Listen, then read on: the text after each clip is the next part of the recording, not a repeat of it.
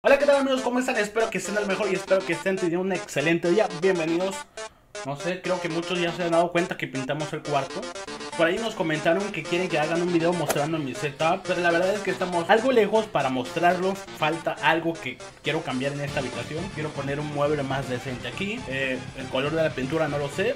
Eh, al principio me gustó, al final ya no tanto. Estoy pensando cuál puede ser una buena idea para ejecutarlo y ya se lo muestro a ustedes. Pero este video no se trata de eso, este video se trata de lo que dice el título. Y es justamente que después de mucho tiempo de estar jugando y de estarlo pensando, decidí comprarme un monitor un poquito más enfocado al gaming para mejorar la experiencia de juego Así que aquí lo tenemos, casi no se ve. Ahorita les digo que pedo, tranquilos. Aquí lo tenemos, es el monitor Game Factor MCG 600. MC. No, MG600. Pero bueno, este es el monitor MG600. Es un monitor gaming, como les digo, va enfocado para mejorar tu experiencia de juego. La mayoría de los televisores, su tasa de refresco son de 60 Hz, o sea, ya sea un monitor o ya sea una televisión, pero todos son de 60 Hz. Entre más Hz tenga tu monitor, con más FPS puedes jugar. Y eso a la vez te da un mejor rendimiento, te da una mejor fluidez. O sea, ves al enemigo moviéndose fluidamente y no como por pausas. Obviamente el ojo humano no lo ve, pero el juego lo detecta así. Y para que lo vean bien voy a quitar este monitor porque justamente ese monitor lo voy a poner aquí. Tengo tres bueno, tengo dos monitores montados, no voy a tener tres.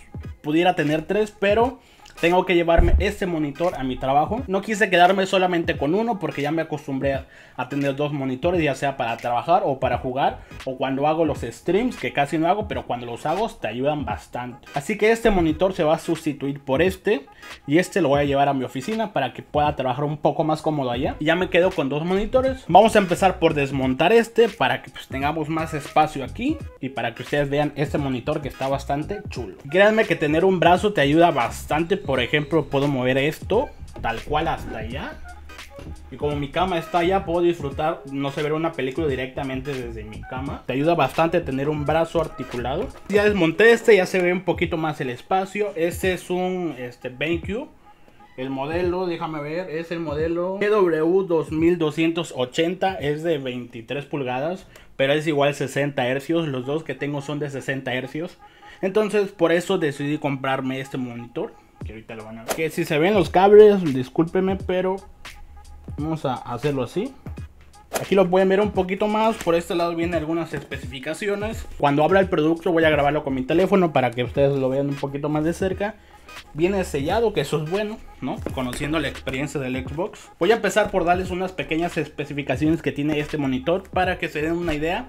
Y creo que este monitor es un monitor ideal para la nueva generación de consolas y para la nueva generación de tarjetas gráficas. Vamos a empezar por decirles que tiene 144 hercios. O sea que podemos jugar hasta 144 FPS. Obviamente si nuestra tarjeta gráfica nos la permite o si nuestra consola nos la permite. En mi caso tengo una gráfica GTX 1660 Super que me puede dar los 144 FPS sin problemas. Quizás con algunos tirones. Pero por lo regular siempre van a estar estables. Pero la diferencia de jugar de 60 a 144, créanme que es abismal. No lo he experimentado pero he visto videos y se, y se ve claramente que wow. Eso experiencia de juego. Tiene un tiempo de respuesta de un milisegundo. Es el tamaño de 24,5. Creo que una pulgada más grande que este. Y es un tipo de panel TN. Es uno de los paneles más económicos. Por eso es el precio. Ah, no lo dije, ¿verdad? Pero me costó 5.200 pesos. Yo digo que su precio regular es arriba de 5.000 pesos. A comparación de otros monitores que son 6.000, 7.000 pesos. Casi por las mismas características que este. Pero tiene algo que este destaque a la mayoría de los monitores. Y la calidad de imagen es Full HD. Creo que es una calidad óptima. Sigue siendo óptima en 2020. Creo que es una buena configuración, Full HD, 144 Hz, creo que está perfecto. Solamente trae este sello que lo rompemos y trae unas pestañitas. Y aquí lo tenemos. Ah, viene bastante bien empaquetado, tiene una cinta protectora. Así que para sacarlo, pues, supongo que de qué lado vienen los artes. Ah, de este lado. Entonces, aquí lo sacamos. No sé si voy a poner el teléfono. Ok. Eh, hay nada más. Bueno, esto es lo que trae. Lo que podemos ver aquí es el cargador. Bueno, este es el transformador. Este supongo que va a la pantalla. No sé, no me agrada tanto la idea. Me hubiese gustado que viniera así, no como los demás monitores. Pero ahorita vemos por qué. Ha de ser algo. Bueno, ha de tener alguna explicación. Acá, acá viene el cable que les digo. Ah, supongo que este, el transformador, lo, obviamente está expuesto, no como estos monitores que tienen el transformador adentro. Ok, ya entendí. Trae un cable, eh, ¿qué será? HDMI creo. Pues que en realidad, mmm, si es 2.0 me sirve.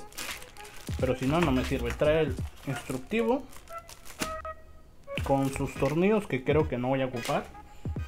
Y trae la base que tampoco voy a ocupar porque yo tengo estos brazos que me permiten pues tener espacio abajo. Y la base. Sobre la base es de metal. Son de metal, es como un mini tripié. Pero yo no soy tan fan de tener los monitores con la base. Porque la base estando en la mesa, este espacio pues te, impide poner otras cosas. Lo que yo les recomiendo es usar un, un, brazo. Un brazo como uno de este, tengo tres. Entonces pues te da libertad de poner algo aquí abajo. Y además lo podemos mover al ángulo que requeramos. Ok, y ahora sí aquí lo tenemos. Creo que viene al revés. Viene en una bolsa que ya se rompió. Bueno, yo la rompí. Pero supongo que ahí está. Ok, es algo que puedo ver de primera mano es que es muy, muy, muy delgado. Pero cuando digo muy delgado, es más delgado de los que tengo y eso que... Ok, entonces aquí lo tenemos, por ya se ven mis dedos, chale.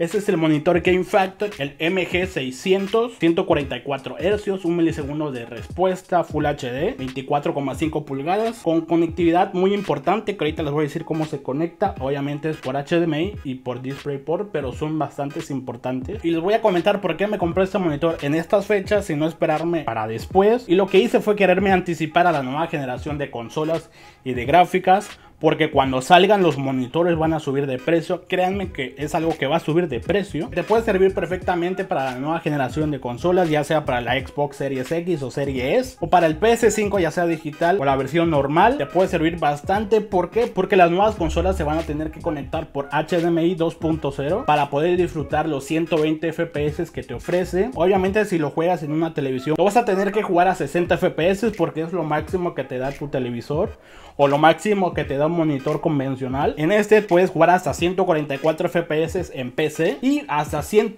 FPS en las nuevas consolas. Por eso yo pienso que es un monitor ideal y perfecto. Bueno, no sé si perfecto, pero sí ideal porque tiene cuatro entradas, 3 HDMI, 2 son 1.4 y uno es 2.0, justamente lo que va a traer las nuevas consolas. Y una entrada DisplayPort para jugar a 144 FPS en PC. Obviamente tienes que tener una tarjeta gráfica con salida de DisplayPort y tener un cable DisplayPort 1.4 porque es el único que te da 144 FPS. Yo no tenía el cable, por eso lo compré, por eso lo pedí. Ese es un DisplayPort 1.4 para poder jugar a 144 Hz. Así que lo que voy a hacer es montarlo porque también lo puedes montar a un brazo como el que yo tengo. Es muy fácil poner un brazo, ¿no? Para un monitor. Todos son del mismo tamaño.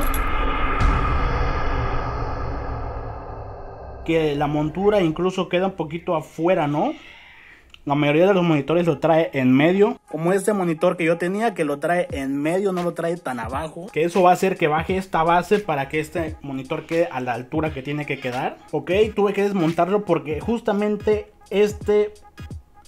Esta pieza que es para la base del monitor choca justamente aquí. Y pues no hace que estos dos orificios tengan buen contacto. Pero me di cuenta que se puede quitar, así que lo voy a quitar. Quité esta tapita que venía aquí. Y pues es lo que voy a hacer, quitarlo para que no estorbe. Es muy fácil poner un brazo, ¿no? Para un monitor. Solamente pone los tornillos y listo. Después de media hora lo tenemos, créanme que me gustó bastante porque pues tenía que poner estos postecitos de abajo para que diera un poquito de altura porque el, sí el tornillo estaba muy grande, pero ahora sí lo vamos a montar. Después de mucho tiempo lo pude instalar y al final no pude igualar la misma altura que el monitor anterior, no sé si se alcanza a ver en la toma. Bueno, con el teléfono se ve mejor. Por más que ya le bajé la base, ya le bajé todo, ya no le puedo bajar más. Sigo teniendo pues este un poquito más alto que este. Lo que voy a hacer es cambiar esta base por la otra. Porque la otra esto sí lo puedo bajar hasta el nivel que yo quiera. Que podemos notar de primeras impresiones? Los colores, ¿no? Claramente Por ejemplo, miren cómo se ve este lado. Pero es la diferencia del panel. Este es un panel TN. A comparación de este que es un panel IPS. Aquí lo podemos ver. Aquí el blanco se ve pues como blanco y aquí se ve más azulado. Aquí vemos que me sigue dando 60 hercios. Eh, voy a ver si lo puedo cambiar. Ok, aquí lo puedo cambiar. Y aquí me da los 144 hercios. Como que hace algunos pequeños cambios. Aquí ya nos dice que es Full HD y 144 Hz. Por si tienen duda cómo es un DisplayPort, aquí lo pueden ver. Es como un HDMI, pero sin el otro lado cortadito así como diagonal. Tiene este botón que saca como unas pestañitas para sujetarlo mejor porque aquí va toda la información. Aquí por este cable pasa, rompe, se mueve un chingo. No, no es cierto. Y algo que ustedes no van a ver va a ser el cambio de, base del monitor para que esté igualados. Es así como quedó al final. Decidí mostrárselos de una vez. Podemos ver que ya quedó perfectamente nivelado aquí y más o menos nivelado arriba. Ya no es tanto la diferencia. Y tampoco acá abajo. Lo único que no me gustó es que los cables se ven por acá. En cambio en este monitor no se ve lo que está conectado. En este sí. Por atrás se ve así. Cambié esta base por esta. Aquí puse el transformador. Hay un poquito apretadito los cables, pero quedó un resultado bastante bien. De mientras, en lo que yo voy pensando cómo corrijo todo eso. Ya estoy probando el Fortnite con el OBS para ver cómo va. Mis primeras impresiones son bastante buenas. Es un monitor grande. Por eso lo escogí así, para que aquí pueda jugar. Y en este monitor pueda tener el OBS o tener Twitter abierto, YouTube abierto. Y pues cuando edito, pues edito en este porque los colores son un poquito más vivos. Así que para terminar este video, yo no les recomiendo este monitor, pero sí que lo piensen porque ofrece cosas bastante buenas. Ofrece una pantalla de 25 pulgadas, Full HD, 144 Hz si juegas en PC o si vas a comprarte la nueva generación de Xbox, pues vas a tener que comprar un monitor nuevo. Hoy van a ver este video, mañana van a ver mi última partida con 60 FPS y el siguiente video va a ser mi reacción de cómo se juega Fortnite a 144 FPS. Y como punto anecdótico de este video, este video va enfocado para Hydra, que por ahí comentó What the fuck, PC 60 FPS, jajaja. Y yo le respondí, ya estoy ahorrando para el monitor. Y aquí lo tenemos después de que hace como dos meses pudimos ahorrar un poquito para comprar este monitor. Así que Hydra, ahora qué vas a decir. Pero bueno, espero que les haya gustado este video. Si es así, dale un buen like en la parte de aquí abajo. Si aún así tienes dudas, coméntalo, yo lo voy a estar respondiendo. Pasen este video a sus amigos para que sepan qué monitor se pueden comprar